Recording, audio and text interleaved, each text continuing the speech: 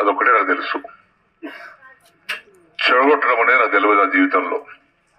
నేను ఆ విద్య నిలవలేదు నా విద్య ఒకటే మంచి చేయడం మంచి పని చేసుకోవడం. దాన్ని దృష్టిలో పెట్టుకొని వెళ్తాను నేను. పదహారు వందలు ఇస్తే నలభై మూడు కట్టావు ముందు అది తెలు- తెలుసుకోది నీ చరిత్ర ఏందో. తండ్రి లాంటి వయసు పట్టుకొని నోటికొచ్చి మాట్లాడుతున్నావు. నీ బుద్ధి ఎక్కడ పోతుంది? కలిసి పనిచేసినాం కదా నువ్వు ఐదేళ్ళు నువ్వు ఎమ్మెల్యే నేను ఐదేళ్ళు ఇక్కడ. ఇక్కడ వేల ఇల్లు కట్టిస్తే నువ్వు కట్టింది ఎంత? నలభై మూడు ఇళ్ళు అంతే ఒక గ్రామం. ఎల్లాడ తాండ లింగపేట మండలం. మిగతా ఏమైనాయి? కట్టలే నువ్వు. నువ్వు కట్టించనోనివి పేదలకు ఇల్లు శాంక్షన్ చేయనోనివి ఇల్లు అలాట్మెంట్ చేయనోనివి పదకొండు వేలు ఇచ్చినటువంటి శ్రీనివాస్ రెడ్డి గురించి మాట్లాడకు నీకుందా నీ నోరెట్ వస్తుంది కది అట్లాంటి మనస్తత్వం అట్లాంటి గుణం ఉన్నటువంటి వ్యక్తి. ఐదు లక్షల నాలుగు వేల రూపాయల ఇల్లు విలువ అయితే ఆయనకు వచ్చేది అన్ని రికవరీ ఓంగా కాంట్రాక్ట్ కాబట్టి కాంట్రాక్ట్ విధానం టెండర్ అయింది కాబట్టి ఆయనకు వచ్చేది ఇంటికి వచ్చేది నాలుగు లక్షల ముప్పై వేలు వస్తాయి. ఒక డెబ్బై డెబ్బై ఎనభై వేల రూపాయలు కట్ అవుతుంది. అనవసరంగా బట్టగాల్సి మీద ఏకర్రి మా కార్యకర్తలు తినలే ఎవరు?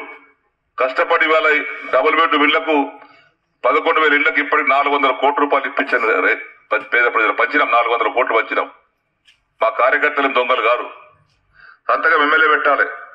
నా దగ్గర కళ్యాణ ఫైల్ వస్తే ఎంఆర్ఓ నుంచి నిద్రలే సంతకం పెడతా నేను. భోజనం చేస్తుంటే కూడా చేతి గడుపు సంతకం పెడతా. ఆపద్దని. ఎందుకంటే ఆడబిడ్డల పెళ్ళి కాబట్టి ఒక దినం ఆగినా కష్టమే నష్టమని సంతకం పెట్టేస్తా. ఈ మహానుభావుడు ఎల్లారెడ్డికి వచ్చినటువంటి నేరుగా రవీందర్ రెడ్డి గారు కళ్యాణ లక్ష్మి సంతకం పెట్టాడు ఎమ్మెల్యే దగ్గరికి పోతే ఆరు మాసాలు సంవత్సరం వరకు ఫైల్ తందర పెట్టుకుంటాడు సంతకం పెట్టాడు. ఒకటి ఇరవై ఐదు లక్షలు కాన్సర్ డెవలప్మెంట్ ఫండ్. మరి ఎందుకు మొత్తం ఇయ్యలేదు? ఆరు కోట్ల తొంభై లక్షలు శాంక్షన్ చేసిండు అంతే. కలెక్టర్ పంపించి ప్రపోజల్స్. మేము ప్రపోజల్ తయారు చేసి కలెక్టర్ పంపించాలి. కలెక్టర్ శాంక్షన్ ఇస్తాడు మరి పదకొండు కోట్లకి ఆరు కోట్లు ఎందుకు అయినాయి? దాని కథ. ముందుదే. లక్ష రూపాయల పనిగా ఐదు వేల దాకా పెట్టు. అగ్రిమెంట్ చేసుకో. ఐదు వేలు చేతులు పెట్టేదాకా పని శాంక్షన్ కాదు. లక్షకు దాని కార్యకర్తలు భయపడేవారు రాలే. కార్యకర్త భయపడ్డారు. ఈ ఐదు వేలు ఇచ్చి ఈఎంఐ ఆడబెట్టుకోవాలని చెప్పేసి కార్యకర్త రాలేదు. ఆ ఫండ్స్ మురిగిపోయినాయి ఇటువంటి వచ్చి మనకు బుద్ధి చెప్తాడు ఇక్కడ వచ్చి. నువ్వు తీసుకొని తీసుకొని వాళ్ళ మందిరికి ముంచి ఇక్కడికి వచ్చి ఉద్దారంగా ఉద్ధారకం చేస్తానని మాట్లాడుతున్నావు. దాస్ జాగ్రత్త ఉండును. మాటకు సరిగా రాని ఉందాలతో మాట్లాడు. పిచ్చి పిచ్చిగా తండ్రి లాంటి వయసును బట్టి పట్టుకొని నోటికొచ్చి మాట్లాడుతా ఉన్నావు. కరెక్ట్ కాదు. నీది నాకు పెద్ద కొడుకు వయసు నీది. నా పెద్ద కొడుకు రవీందర్ రెడ్డి వయసు నీది కూడా. ఆ వయసు ఉన్నటువంటి వారిని పట్టుకొని ఆ విధంగా మాట్లాడడం మంచి పద్ధతి కాదు.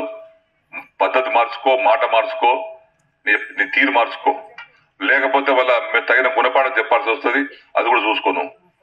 కాబట్టి ఇది కూడా మరిన్ని వీడియోస్ కోసం ఛానల్ సబ్స్క్రైబ్ చేయండి. లేటెస్ట్ అప్డేట్స్ కోసం వాట్సాప్ ఛానల్ని ఫాలో చేయండి. అండ్ లింక్ డిస్క్రిప్షన్లో ఉంది.